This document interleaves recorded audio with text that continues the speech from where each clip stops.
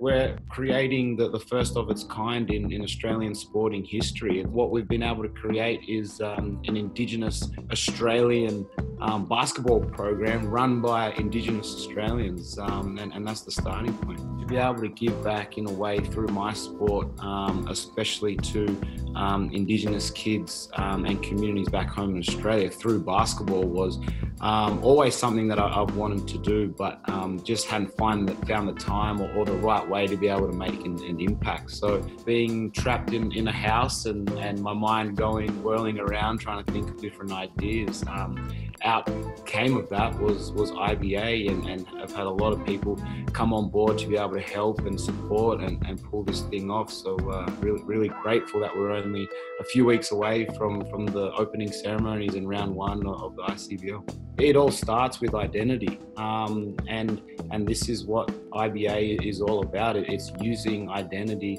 um, as, as, the force for change. So being able to tell these kids from the very beginning to to be proud of who you are um, and and own that.